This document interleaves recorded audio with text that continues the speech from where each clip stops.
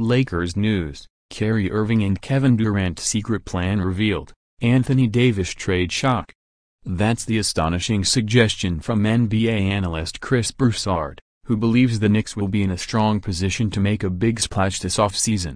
Much has been made of the Lakers' interest in Davis, after missing out on trading for him before the deadline.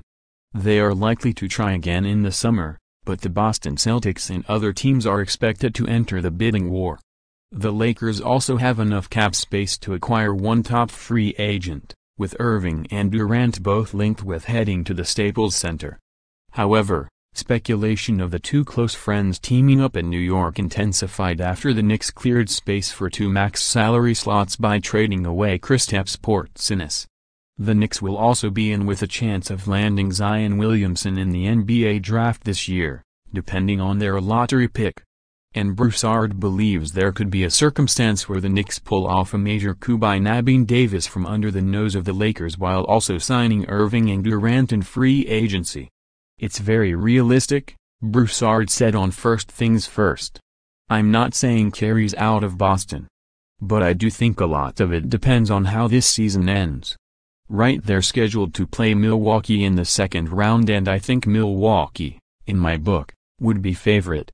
If they go out in the second round, is Kyrie or the other young players going to be able to accept that we went further last year in LeBron's East, beat Milwaukee? Now we have Kyrie and we lost to them. That could push him out the door. I don't think he's going to the Lakers. But there are people in the league that it's either the Knicks or the Lakers. I think it would definitely be the Knicks. He's from the greater New York area in West Orange, New Jersey.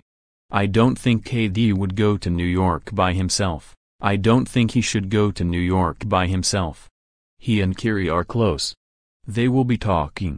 Here's the scary thing. If those two want to go to New York and New York gets the first pick or even second pick, you could offer that for Anthony Davis. Obviously with Kyrie and KD your timetable changes. You don't want to necessarily wait on a Zion Williamson to develop. Maybe you just go get Anthony Davis and you talk about a big three of Kyrie, Kevin Durant and Anthony Davis.